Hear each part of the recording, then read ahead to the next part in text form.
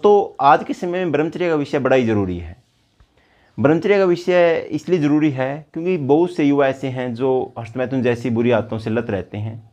आदि हो गए उन चीज़ों के वो। बार बार वीर्य नाश करते हैं। यदि वो ब्रह्मचर्य की शिक्षा नहीं प्राप्त करेंगे तो उनका आने वाला समय बड़ा ही भयानक है, बड़ा ही खतरनाक है। उनके शरीर के अंदर बहुत से ऐसे रोग हो जाएँगे। यहाँ तक कि वो ठीक से मतलब जीवन यापन भी नहीं कर पाएँगे या फिर कह सकते हैं वो बुद्धिमान, बलवान या फिर वीर्यवान संतान पैदा नहीं कर पाएँगे। तो इसके लिए ब्रह्मचर्य बहुत ज़रूरी है।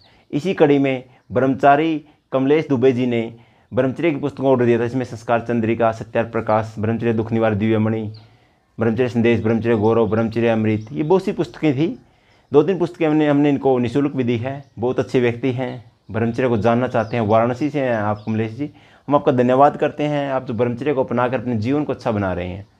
हमें आपसे प्रेरणा लेनी चाहिए और युवाओं को भी इनसे प्रेरणा लेनी चाहिए जो ब्रह्मचर्य को अपनाना चाहते हैं। ब्रह्मचर्य एक ऐसा विषय है यदि इसको आज हमने अपना लिया तो आने वाला समय हमारा बिल्कुल सुनहरा होगा। देखिए, ब्रह्मचर्य नाश करने का जो मज़ा है, ऐसा ही है। इसका एग्ज़ाम्पल समझिए।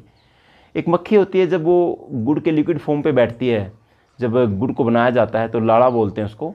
जब उस पर बैठती है, वो खाती है, उसको बड़ा आनंद आता है। एक समय ऐसा आता है जब वह उड़ना चाहती है, लेकिन उड़ नहीं पाती है और उसमें फंस के वहीं मर जाती है। तो यही वीर्य नाश करने वालों का मज़े के बारे में है। उनको भी गलत कार्य में इतना ही मज़ा आ रहा है।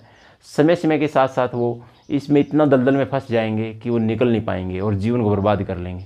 तो आप ब्रह्मचर्य को अपनाइए। यदि आप ब्रह्मचर्य का पालन कर रहे हैं तो कमेंट बताइए कि आप कितने दिन से ब्रह्मचर्य का पालन कर रहे हैं। धन्यवाद।